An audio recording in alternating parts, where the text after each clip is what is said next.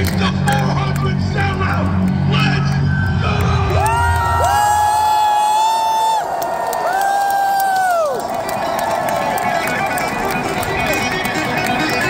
What a building is.